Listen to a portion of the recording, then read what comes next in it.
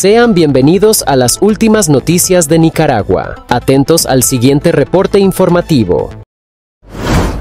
Impresionante revelación desde las entrañas del infierno dictatorial de Daniel Ortega y Rosario Murillo. Humberto Ortega Saavedra, el propio hermano del dictador, grabó un desesperado testamento donde señala a Daniel y a la vicedictadora Rosario Murillo como responsables de su muerte. Así es. Humberto, paralítico desde 1969 y prisionero en su propia casa, fue sometido a una brutal tortura psicológica por el régimen que él mismo ayudó a edificar. El desgarrador mensaje, filtrado por Confidencial, relata cómo su hogar fue convertido en una cárcel, allanado por tropas especiales, mientras sus contactos eran desaparecidos. Aislado del mundo, le arrebataron cualquier medio de comunicación, dejándolo en completo abandono. Incluso su clamor por asistencia médica fue ignorado, conduciéndolo a una muerte lenta y solitaria, traicionado por su propio hermano. Este último grito de Humberto Ortega no solo desnuda la crueldad inhumana de la dictadura, sino que pone al régimen en jaque mate. Daniel Ortega no solo destruyó a sus enemigos, ha aplastado a su propia sangre. La represión de los Ortega Murillo no tiene límites, y con esta muerte, el fin de su tiranía parece más cercano que nunca. Urgente, soy el general de ejército retirado Humberto Ortega Saavedra. Hoy domingo cumplo tres semanas de estar prisionero político en el régimen de casa por cárcel. Así se declaró el general en retiro Humberto Ortega Saavedra en un audio enviado a Confidencial el pasado 9 de junio de 2024, tres meses antes de su fallecimiento. Según el medio, Humberto Ortega realizó la llamada desde un teléfono celular que escondió en su casa. En la grabación, el general inicia identificándose y pasa a explicar sus condiciones bajo el régimen de arresto domiciliario me suspendieron todas mis libertades. Igualmente a mi pareja Angélica, quien me apoya moralmente por sus firmes principios libertarios y auxilia por ser yo un paralítico de mis brazos desde 1969 como consecuencia de intercambio de balazo al comandar el intenso de rescate de prisión de Carlos Fonseca, el fundador líder mártir de la Revolución Popular Sandinista. De acuerdo a la grabación, la policía invadió su vivienda y desapareció al jefe de la unidad de protección, el coronel Johnson Laines y su esposa. La hipocresía de la dictadura Ortega Murillo ha alcanzado su punto máximo. Rosario Murillo, con lágrimas de cocodrilo, se mostró conmovida por la muerte de su cuñado Humberto Ortega, el mismo hombre al que condenaron al aislamiento y lo mantuvieron como prisionero político. ¡Qué cinismo! Murillo, quien orquestó su prisión domiciliaria, ahora se hace la solidaria con la familia del fallecido, mientras Humberto pasó sus últimos días atrapado bajo el yugo cruel de su propio hermano Daniel y su cuñada, la vice dictadora. Humberto Ortega, un histórico sandinista y fundador del Ejército Popular Sandinista, osó criticar el desorden del régimen y rechazó la sucesión dinástica en Nicaragua, lo que le costó ser un prisionero en su propio hogar. Ahora, Murillo se atreve a glorificarlo, mientras sus manos están manchadas con la opresión que lo consumió hasta su muerte. Los esfuerzos médicos que Murillo menciona en su discurso son solo otro insulto a la inteligencia de los nicaragüenses, ocultando las inhumanas condiciones que impuso su régimen. El ejército de Nicaragua, cómplice silencioso, se deshace en elogios hacia Humberto mientras guardaba silencio sobre su encarcelamiento. ¡Qué vergonzoso! La muerte de Humberto Ortega expone una vez más la brutalidad y la podredumbre de un régimen que no perdona ni a sus propios fundadores si se atreven a desafiarlo.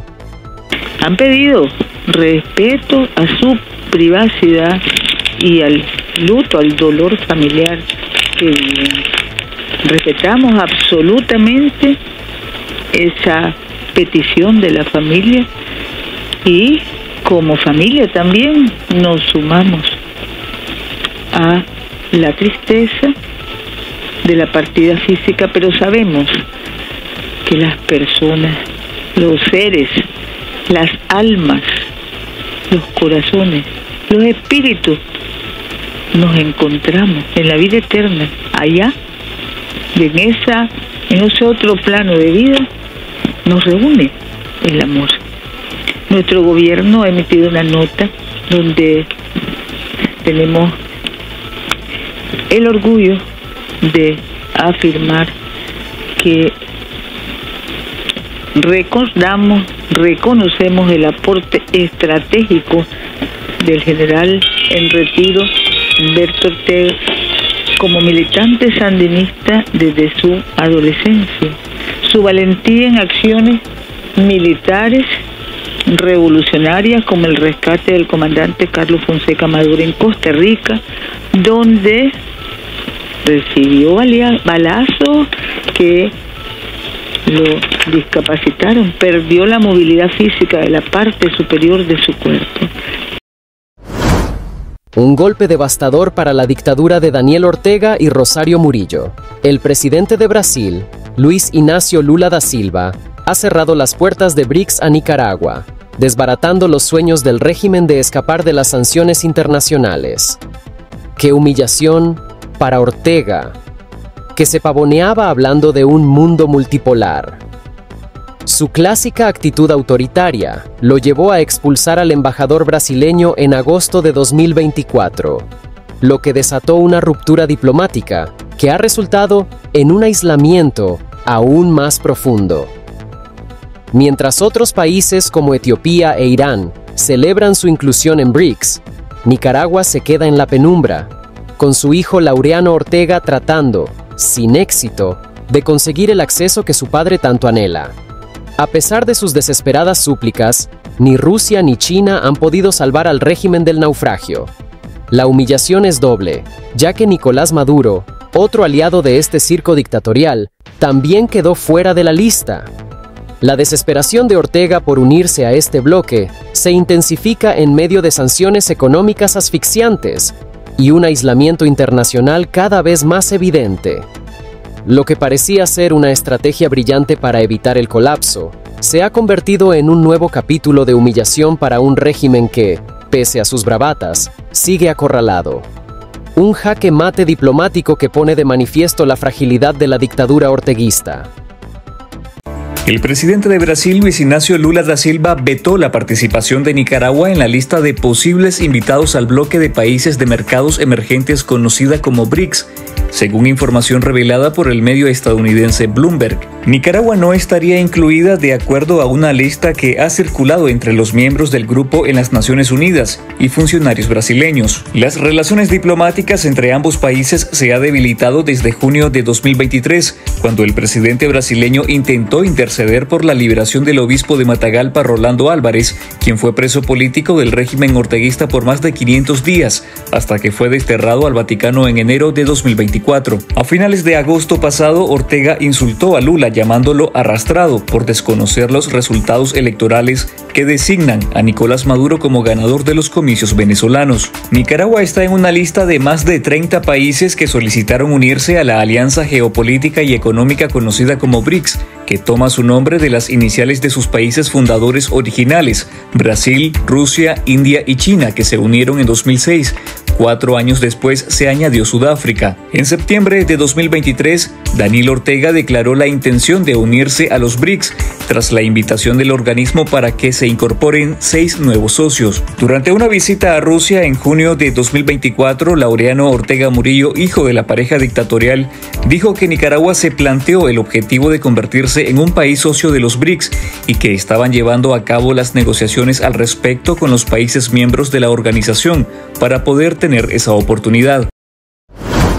Un éxodo masivo que saca a la luz el colapso de la dictadura Ortega Murillo.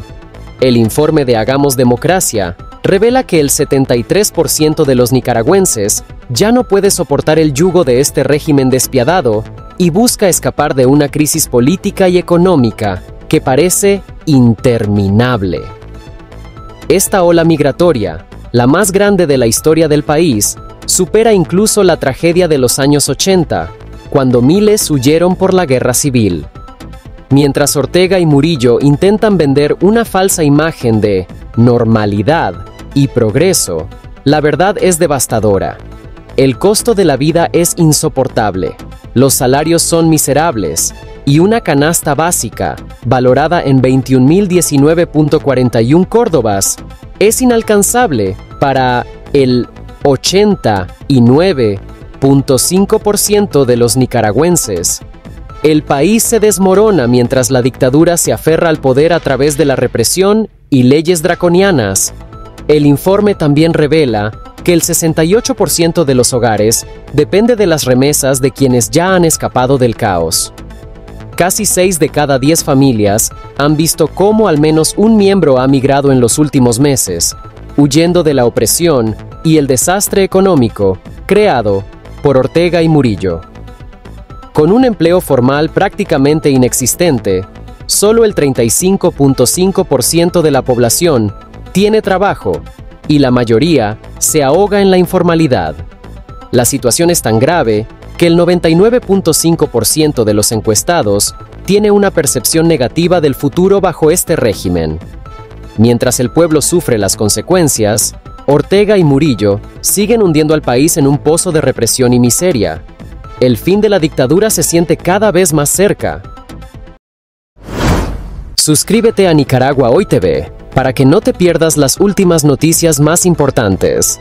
Déjanos tu opinión en la caja de comentarios y activa la campana de notificaciones. Nos vemos en el próximo reporte.